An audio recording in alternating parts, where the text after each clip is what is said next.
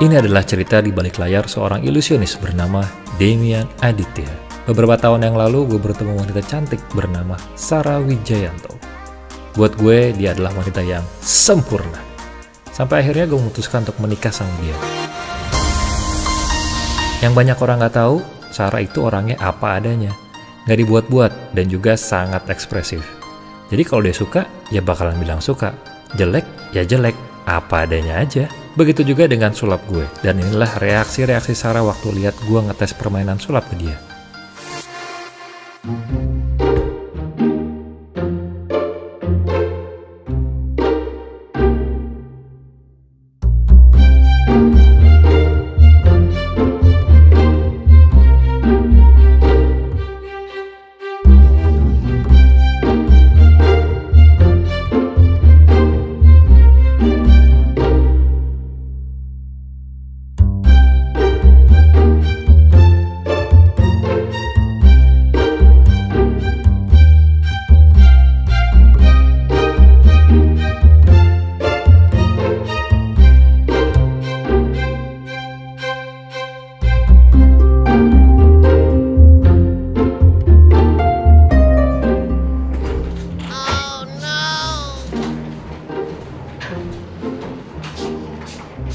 快去快去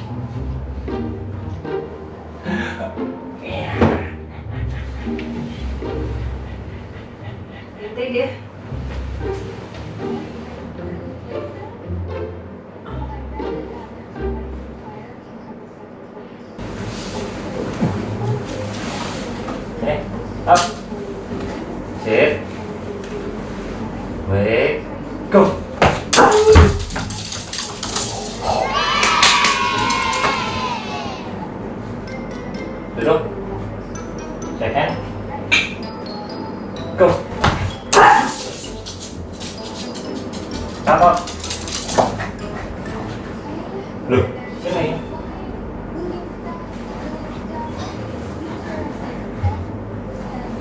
Eh, eh, aku mau itu deh.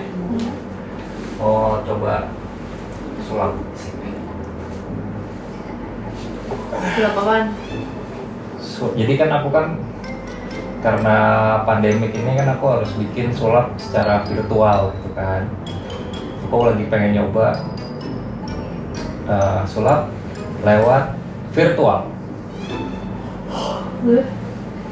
Misalkan kayak lewat video call gitu, memungkinkan atau enggak. Hmm. Kita mau nggak coba Boleh. untuk ngatur kayak Hmm. Gimana caranya? kita video callan.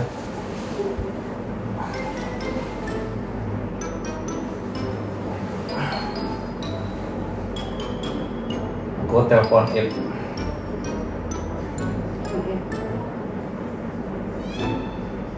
Ya apa? Wah.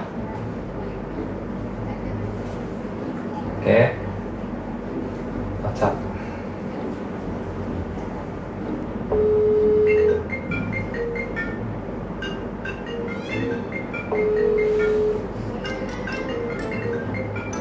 Nggak diangkat. Gini emang gini. Balik ya. Eh, Ini. Nah.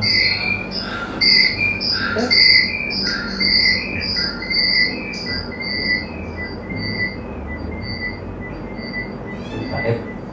Lihat sini terus ya. Lihat mana? Dari situ. Aku akan coba aja. Ip jangan tinggalin aku. Oke. Sini aja ya. Aku nyala.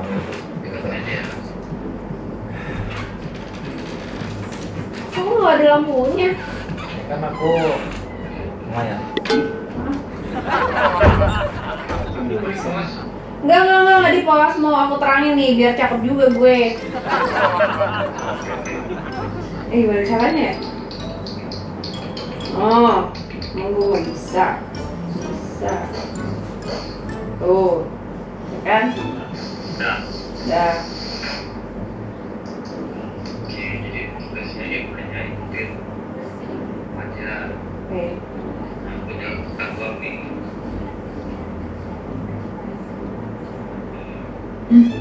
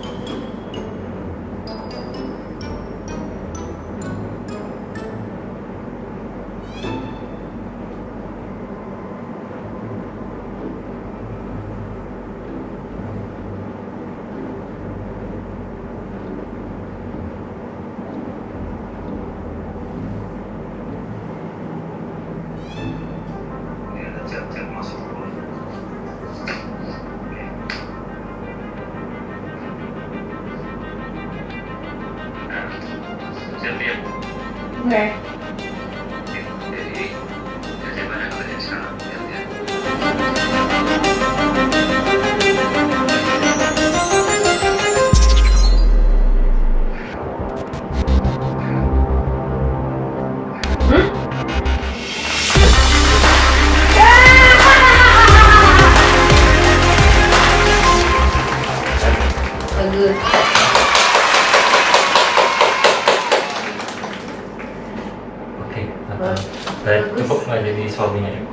Bagus, bagus.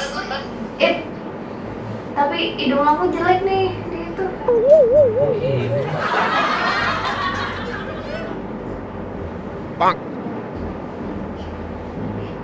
Sulap biasa aja. Bagus sulapnya. Weh. Tadi lupa juga kaget. Ya, Duh. Ya udah. Eh, pakai tangan dua. Dua sempurna. Oke, cocok ya buat show virtual ya. Hmm? Berarti oke ya. Cocok. Aku bisa show lagi ya sekarang. Bisa. Oke lah kalau gitu. Aku hitam, eh.